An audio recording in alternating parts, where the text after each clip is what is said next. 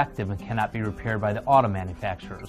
We know those laws and we know how to fight aggressively for you to get you out of your vehicle if you've had problems. The great thing about these laws is that our services are free. If we take on your case, you will never pay us a dime, win, lose, or draw. Our attorney fees are paid by the manufacturer. There's federal laws and state laws that provide that the manufacturer has to pay our attorney fees, which makes sense because you're a consumer who bought a defective product and you shouldn't have to pay your attorney fees.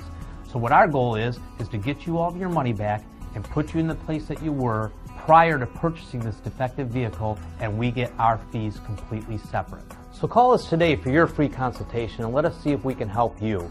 Remember,